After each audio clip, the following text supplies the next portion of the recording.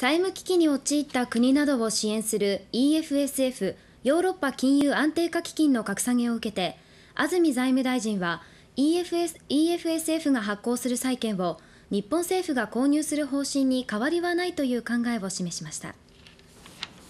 アメリカの大手格付け会社スタンダードプアーズは16日 EFSF を AAA から1段階引き下げました。これにより EFSF の資金調達はより厳しくなるとみられていますが安住大臣は直ちに EFSF 債の信頼が揺らぐとは全く思っていないと述べ今後も日本政府として EFSF 債の購入を続ける意向を明らかにしました。